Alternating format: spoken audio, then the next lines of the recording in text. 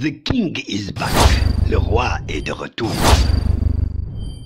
Dans la direction des nations, le déroulement de certains événements socio-économiques, politiques ou diplomatiques nous offre une précieuse occasion d'évoquer d'abord leurs auteurs, gouvernants ou hauts fonctionnaires de l'État, civils ou militaires, en rappelant leurs attributs essentiels, personnels et professionnels, mais aussi des circonstances similaires antérieures.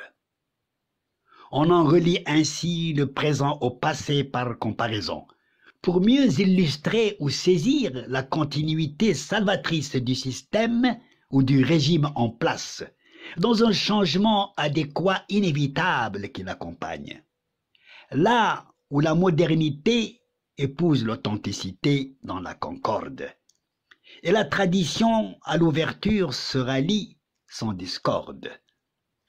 Dans cette logique de sagesse marocaine, rappelons succinctement quelques réalités dominantes concernant le retour solennel du roi Mohamed VI sur la scène nationale en ce mois sacré de Ramadan, qui nous quitte péniblement vers son crépuscule en nous donnant déjà la nostalgie de sa présence et l'espérance de son retour, comme celle qu'éprouvent les Marocains à chaque achèvement d'événements présidés par le souverain dans l'attente de son prochain retour également.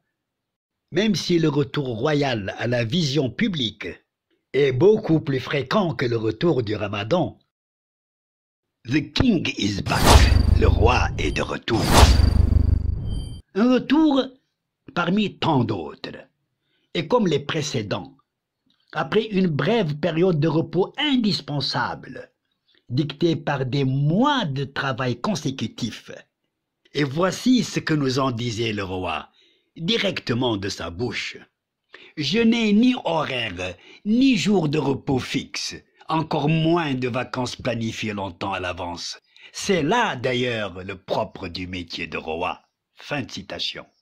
D'ailleurs, tant de témoins, même étrangers, reconnaîtront cette réalité chez Mohamed VI.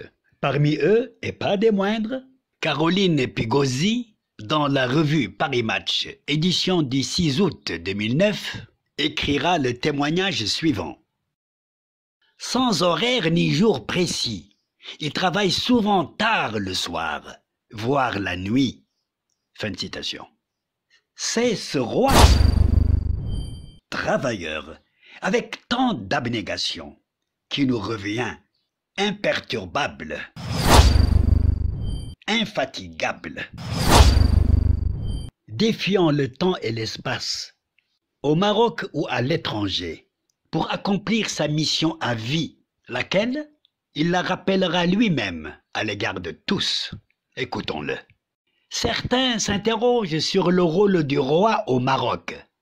Eh bien, mon rôle, c'est de répondre aux attentes des Marocains et de veiller à la bonne gestion de leurs affaires. Fin citation. Mohamed VI Interview accordée au quotidien arabe Asharq al-Awsat du 23 juillet 2001. Il accentuera dans le même sens, je cite, Je suis le serviteur de tous les Marocains, qu'ils soient à l'intérieur des partis ou ailleurs. Je suis à la disposition de tous. Toutefois, dans leur similarité à laquelle nous venons de faire allusion, les événements en question ne sont jamais totalement identiques tant dans leur forme comme dans leur fond, surtout dans l'élan ou l'apparence de leurs acteurs, même avec les mêmes facteurs. Par conséquent, le retour du roi dont nous parlons ici, en ce ramadan 1444 du Hégire, soit 2023, revêt sa spécificité, sa tonalité et même son goût. En effet, certains retours royaux d'inauguration d'actions publiques périodiques spéciales ou ramadaniennes, se suivent sans se ressembler dans leur contexte socio-économique ou politique, mais tout en se ressemblant sur d'autres aspects, dont les gestes de salutation royale, réagissant spontanément et noblement au vivat de la foule.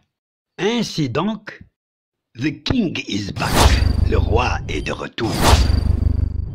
Avec une silhouette naturelle, remodelé par le destin, comme il en fait pour tout le monde à travers l'âge, dans son état moral impassible et sa meilleure condition physique possible, dans son style réel, son élégance habituelle, sa démarche actuelle et son rythme factuel. Autant de choses qui sont les siennes, sans masque ni retouche. Imperturbable Mohamed VI. Imperturbable Mohamed VI. Infatigable Mohamed VI. Infatigable Mohamed VI.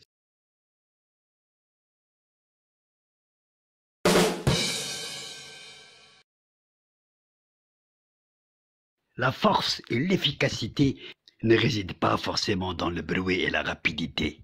On est souvent plus efficient dans la discrétion et la modération, en rythme ou en cheminement, tant on peut soulever de la poussière et du vent pour du vent.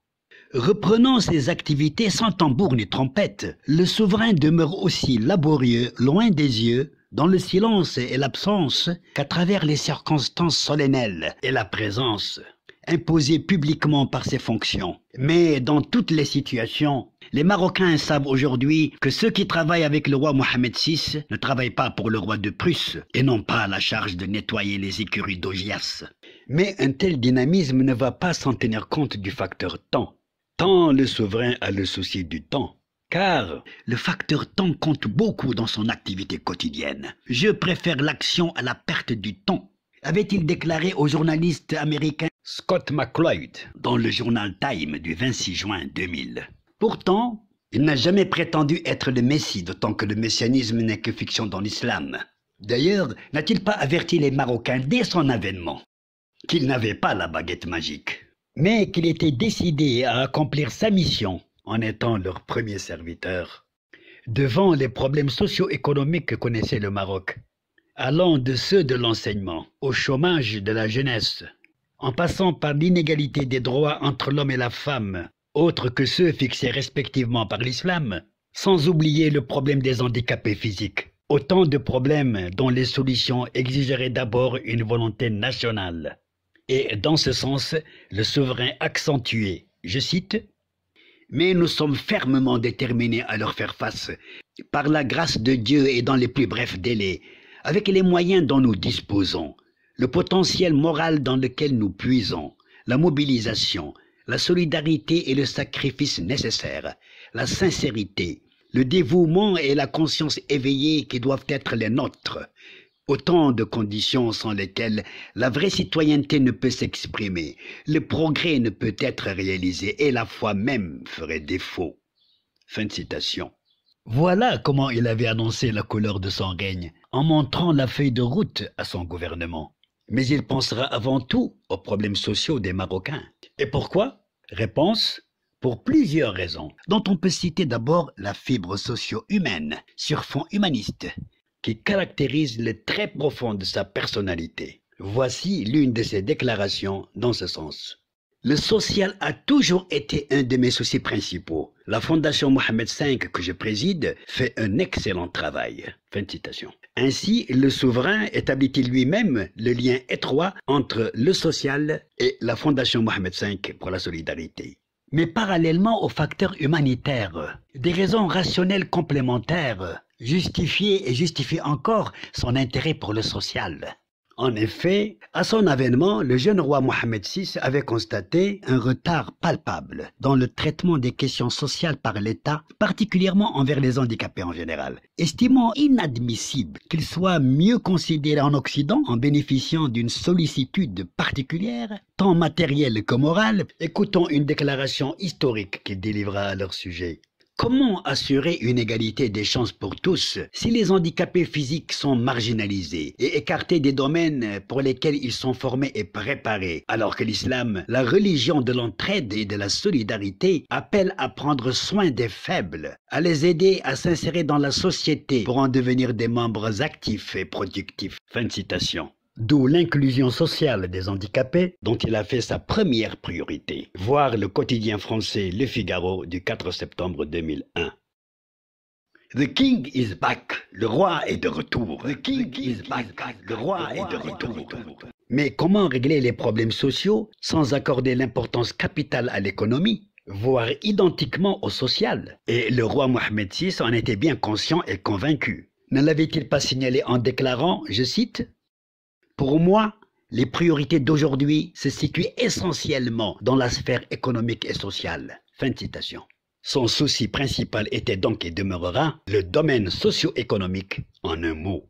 Mesdames et messieurs, le contenu de cette vidéo que vous venez de voir vous permettra de mieux comprendre la prochaine, soit la deuxième partie, car celle-ci comprendra les actions concrètes du souverain marocain durant le mois de Ramadan, après son retour aux activités publiques suprêmes de l'État, essentiellement socio-économiques, sur fond humanitaire. Parallèlement à des manifestations officielles à caractère religieux et spirituel.